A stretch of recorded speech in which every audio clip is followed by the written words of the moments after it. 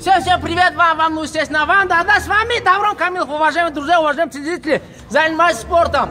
Очень хорошая новость. Сегодня турнир Микс Мартиан Арт. Спасибо огромное, ребята, профпринта.